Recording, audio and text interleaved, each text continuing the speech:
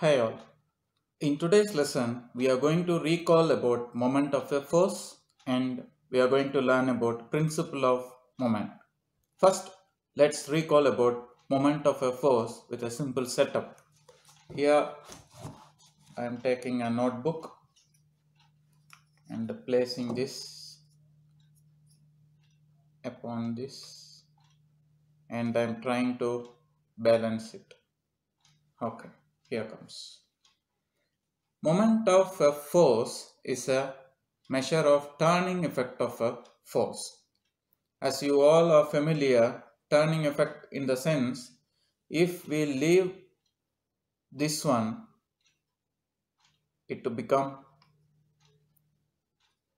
turn. So if we take this one, it will turn in this direction. So here comes our clockwise and anti-clockwise direction. This way it moves means it is clockwise. If it moves in this way means it is anti-clockwise. So moment of a force is a measure of turning effect of a force and it, it depends on force and perpendicular distance from the pivot. Here pivot is this notebook. Forces are acting on both sides, clockwise as well as anti-clockwise. So by knowing this force and this distance for our easy learning, perpendicular distance means this is perpendicular. So from here to here is the distance. Perpendicular means assume this is 90 degree. So force times perpendicular distance from the pivot. So this is the distance. So by knowing the force and the distance from the pivot, we can measure the moment of a force. Like that, we all know that here one is in clockwise direction and another force is acting in anti-clockwise direction. So what is principle of moment means when an object is in equilibrium, equilibrium means balance. Here now it is in equilibrium. The sum of the clockwise moment acting at any point will be equal to sum of the anti-clockwise moment at any point. That is principle of moment. In simple words, if it is in equilibrium, sum of the clockwise moment and anti-clockwise moment will be equal. So, what happens if I add one more object in this clockwise direction?